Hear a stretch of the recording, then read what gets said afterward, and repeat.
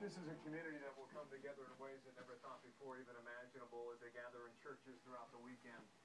Uh, dealing with the shock of what happened at Sandy Hook. It was shock initially. It is a stunned feeling today, and I think in some ways that feeling is moving um, toward anger, frankly.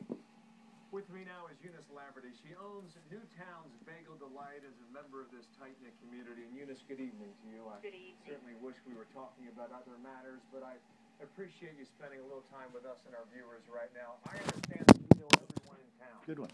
Well, not everyone, but, uh, Well, that, that's a, it's a huge compliment to you, and I just, well, what is the What'd you sense think? about where this town is now, only a day and a half Easy. into this enormous tragedy? well, as everyone keeps saying, they, it, it's just shocking.